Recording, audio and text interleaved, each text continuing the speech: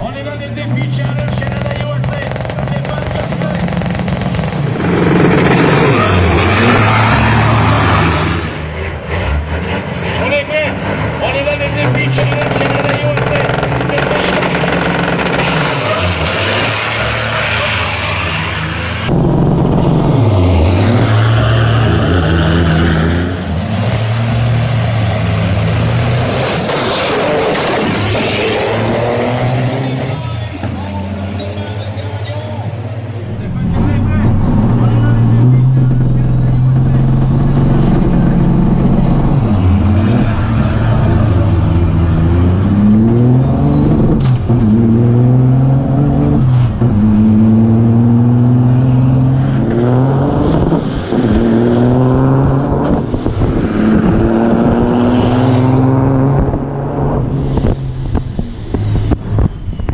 Italian work on Sonny Klein.